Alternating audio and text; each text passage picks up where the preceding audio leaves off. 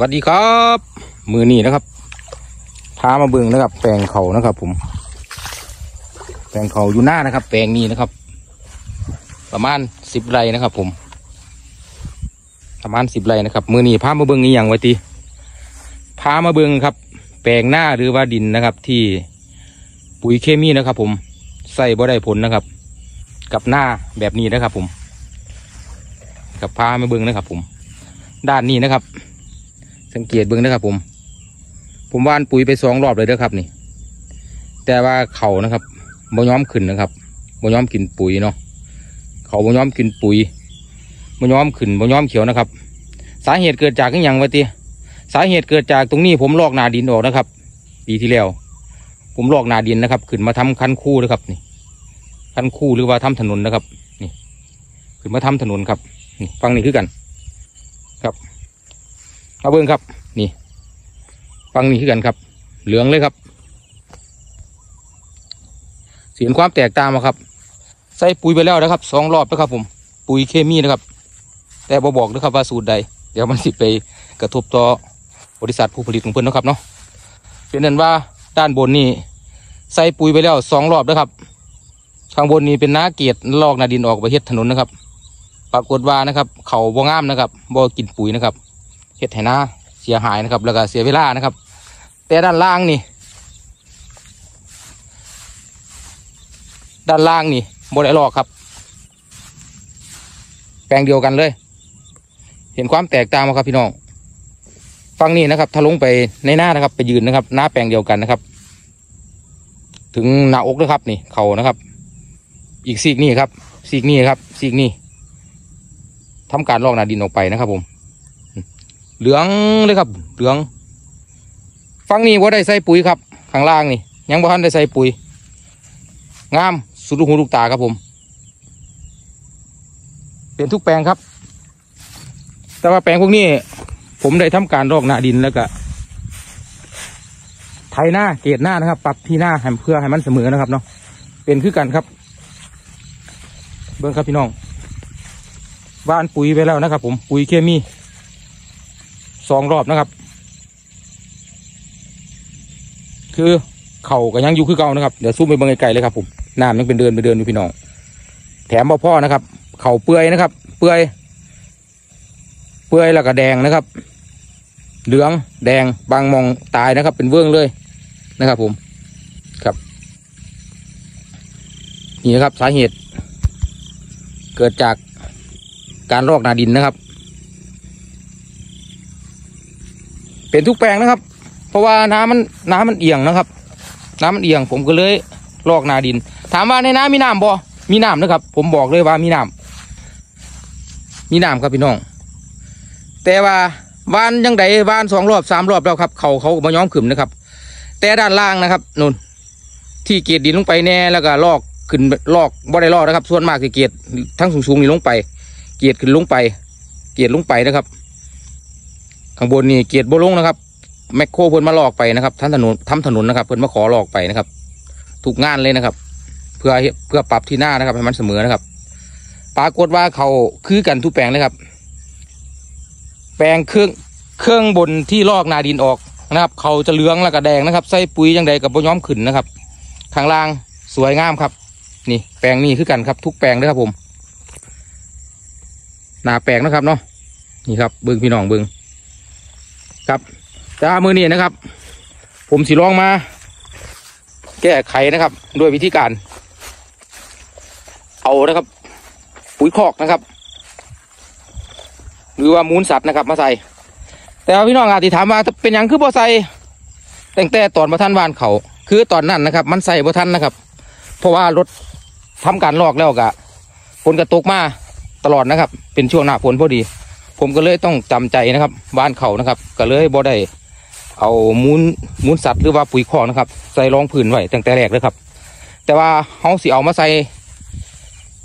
ที่ลังเบิงนะครับลองเบิงนะครับ ว่าสิได้ผลเป็นยังไงนะครับ เดี๋ยวพี่น้องครับมาติดตามมาชมนะครับ ผม มูลที่เขาใส่นะครับ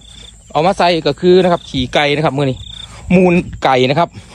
บอกแบบสุภาพนะครับ คือมูลไก่นะครับ มูลไก่นะครับ จากทางทางสวนนะครับ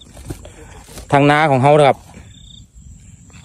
ทั้งสวนนะครับได้เลี้ยงไก่ไว้นะครับ เป็นจำนวนมากนะครับนะครับมือนี้นะครับผมนี่ครับได้ำมูลไก่นะครับ มาลองทดสอบเบิ่งนะครับว่า ระวางนะครับ ใส่แล้วไทยกบกับเมาวานที่หลังนะครับสีได้ผลคือจังไทยกบบอนะครับ เดี๋ยวค่อยติดตามรับชมกันนะครับผม ครับเดี๋ยวขออนุญาตนะครับ เอาปุ๋ยไปวานก่อนนะครับ นี่ปุ๋ยมูลสัตว์ ปุ๋ยมูลมูลมูลโวมูลมูลวัว มูลควายนะครับ หรือเรียกสั้น ๆ ว่าปุ๋ยคอกนะครับนี่จะลองนะครับ ใส่ทีหลังดูนะครับ ว่าจะได้ผลเป็นอย่างไรนะครับ อีกหนึ่งอาทิตย์นะครับ มาติดตามรับชมกันครับ ว่าจะมีการเปลี่ยนแปลงยังไงบ้างนะครับ ผมตอนนี้นะครับจะขออนุญาตไปหว่านมูลมูลสัตว์ลงในนาข้าวก่อนนะครับผม นี่ก็เป็นนะครับอีกแปลงหนึ่งนะครับที่ผมได้ทำการนะครับโรคหน้าดินออกนะครับ นี่นะครับ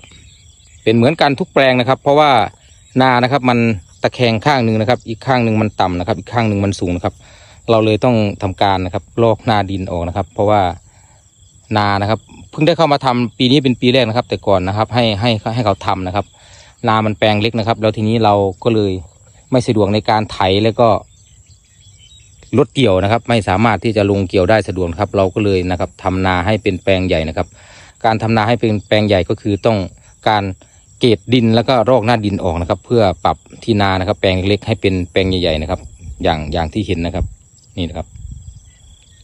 แล้วหลังจากนั้นนะครับ ผมก็ได้ทำการหว่านข้าวเลยนะครับ โดยที่ไม่ได้นำปุ๋ยมูลสัตว์ มา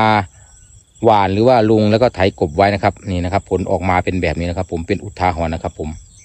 แปลงนี้นะครับ อีกแปลงหนึ่งนะครับ เป็นทุกแปลงครับ นี่อีกแปลงนี้แปลงด้านบนนะครับ ดูนะครับ คันคูนะครับ คันนาใหญ่มากนะครับ เพราะว่าผมเอารถมาลอกหน้าดินขึ้นทำเป็นคันคูเพื่อจะปลูกปลูกไม้ผลนะครับ ในอนาคตนะครับ ผมเนี่ยครับ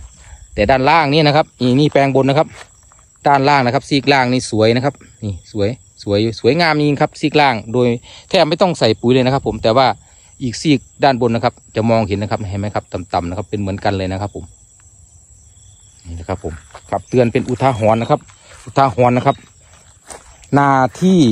ปุ๋ยเคมีนะครับ ไม่สามารถใช้ได้ผลนะครับ นี่นะครับผม ครับผมนี่เป็นอีกแปลงหนึ่งนะแต่ด้านล่างนี้นะครับ สวยนะครับ จนผมต้องตัดทิ้งเลยนะครับ ผมนะครับ ฝากไปถึงนะครับ เพื่อนๆพี่ๆลุงๆป้าๆนาๆท่านใดนะครับ ที่นะครับทำนานะครับ เป็นอาชีพนะครับ มีวิธีนะครับ แก้ไขหรือมีสูตรเด็ด เคล็ดลับยังไงนะครับคอมเมนต์นะครับ ขอคอมเมนต์นะครับมานะครับ ช่วยแนะนำวิธีนะครับ วิธีการแก้ไขนะครับ ให้ผมด้วยนะครับ ผมเพราะว่าเดือนนี้นะครับ ก็เป็นต้นเดือนนะครับ กันยายนอยู่นะครับ ผมน่าจะทันนะครับ เพราะว่าเวลาเหลืออาจเวลาเหลือประมาณ2อถึงสเดือนนะครับ กว่าจะถึงเดือนพฤศจิกาธันวานะครับ ถึงจะได้เก็บเกี่ยวข้าวนะครับ นาปีนะครับ ตอนนี้น่าจะทันนะครับ ผมนะครับ เพื่อนๆพี่ๆนะครับ ท่านใดนะครับ ที่มีความรู้นะครับ เกี่ยวกับการ การทำนานะครับ แล้วก็เคยนะครับประสบปัญหานะครับ ลักษณะแบบนี้นะครับ แบบที่ผมบอกนะครับมานะครับ ขอขอนะครับ ความช่วยเหลือนะครับ อนุเคราะห์นะครับคอมเมนต์นะครับ บอกผมด้วยนะครับ ผมจะเป็นพระคุณอย่างสูงนะครับ ผม เดี๋ยวจะเบื้องต้นนะครับ จะลองไปเอามูลสัตว์นะครับหวานดูก่อนนะครับ ผมขออนุญาตนะครับ ไปหวานปุ๋ยมูลไก่ก่อนนะครับ ผม ครับผมนี่ครับ มูลสัตว์นะครับ มูลไก่นะครับนี่มูลไก่ อันนี้ถุงหัวหารหมูซื้อนะครับ ใส่มูลไก่มากนะครับบ่ได้เลี้ยงหมูหรอกครับ แต่ว่าท่านพี่น้องนะครับ มีมูล มีมูลหมูมูลโบวัวมูลควายมูลไก่ก็สุดแล้วแต่จะใส่นะครับ แต่ว่าผมนะครับ ที่สวนผมเลี้ยงไก่นะครับ ผมมีมูลไก่ ผมก็เลยใช้มูลไก่นะครับ ผม แล้วก็ แปลงนี้นะครับ ผมจะลองมูลไก่นะครับ แปลงล่างผมจะลองนะครับ มูลวัวนะครับ จะลองทดสอบดูนะครับ คิดว่าได้ผลนะครับ นี่นะครับผมผมจะบอกไว้นะครับ เป็นอุทาหรณ์นะครับ อย่าชะล่าใจนะครับในการทำนานะครับ นี่นะครับ ผมชะล่าใจนะครับ เพราะผมคิดว่า เออ นานาเกตใหม่เนาะนาลอกหน้าดินเนาะแต่เราคิดว่า เออ หวานไปก่อน หวานแล้ว ค่อยซื้อปุ๋ยมาใส่ก็ได้นะครับ อย่าไปชะล่าใจนะครับ ปีนี้นะครับ ผมคิดแบบนั้นนะครับ แต่สุดท้ายแล้วนะครับ ปุ๋ยยี่ห้ออะไรนะครับ ปุ๋ยเคมีนะครับ ผมบอกเลยบอกสูตรได้ก็ได้นะนี่บอกเลยตอนนี้บอกเลยนะครับ แต่ไม่บอกยี่ห้อ บอกแค่ว่าผมใช้สูตร 4600 นะครับ แปลงนี้นะครับ ใช้ไปนะครับหนึ่งกระสอบนะครับสองรอบนะครับ ประมาณสองงานนะครับ ครึ่งที่ไม่สวยนะครับ เพราะว่าครึ่งด้านล่างนะครับ ด้านล่างนะครับ ด้านล่างนั้นที่สวยๆนะครับ ผมไม่ได้ใส่นะครับ ผมใส่เฉพาะซี่ข้างบนนี้นะครับนี่ ผมใส่ไปแล้วนะครับสองรอบนะครับ คิดว่า4600 แล้วก็ผสมผมผสมกับ1688นะครับ เพราะว่าเป็นนาดินทรายนะครับ คิดว่าเขาจะขึ้นนะครับ จะเขียวจะสดนะครับ ผิดกันครับ ผิดกันตรงกันข้ามนะครับ กับทำให้นาข้าวนะครับ ใบไหม้เหลืองไหม้แล้วก็เปื่อยนะครับ เสียหายนะครับ ผม จนต้องย้อนกลับมาใช้วิธีนะครับ อินทรีย์นะครับ ก็คือนำมูลไก่นะครับนี่มูลสัตว์นะครับต่างๆนะครับ มาใช้เพื่อปรับสภาพนะครับ ปรับสภาพดินนะครับ นะครับ ผมคิดว่านะครับห้าสิบห้าสิบเปอร์เซ็นต์นะครับน่าจะได้ผลนะครับ ได้ผลไม่ได้ผลยังไงนะครับ เดี๋ยวคอยนะครับ ติดตามชมนะครับ ผมจะอัปเดตนะครับ ให้ดูนะครับ ประมาณอาทิตย์หน้านะครับว่าจะมีผลยังไงไหมหลังจากที่ใส่นะครับ มูลสัตว์ลงไปนะครับ เดี๋ยวผมจะมาอัปเดตให้ดูนะครับ ผม ตอนนี้นะครับ ขออนุญาตนะครับ ไปหวานนะครับ ปุ๋ยมูลสัตว์ลงในนาข้าวก่อนนะครับผมสู้ๆครับ อุทาหรณ์ครับอุทาหรณ์นะครับ ผมอย่าทะล่าใจนะครับ